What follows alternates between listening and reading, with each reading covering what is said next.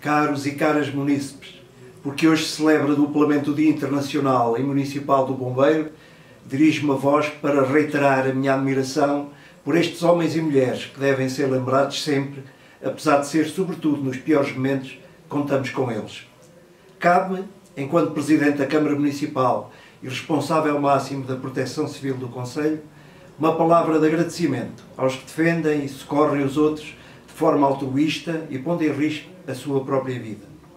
A autarquia tem apoiado os bombeiros voluntários turjanos ao nível de obras estruturais, como foi o caso da ampliação do quartel, a aquisição de novas viaturas, da autoescada, de equipamento técnico e de proteção individual, refeições, entre outros. Sabemos que tudo o que dermos será sempre insuficiente na retribuição do esforço e da dedicação que cada homem e mulher colocam cada vez que vestem a farda. Sabemos das centenas de horas que cada um de vós dá ao voluntariado à custa do tempo que podia estar com a sua família.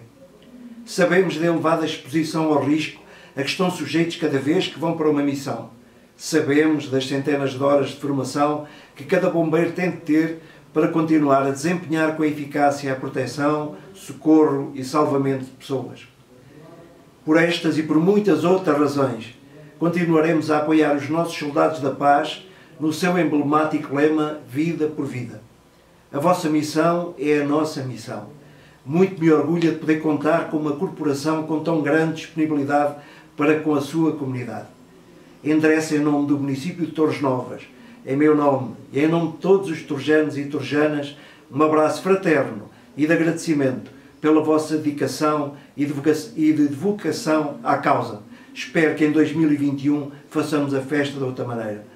Tenho a firme certeza que para o ano celebraremos todos juntos este dia como o temos feito nos anos anteriores. Muito obrigado.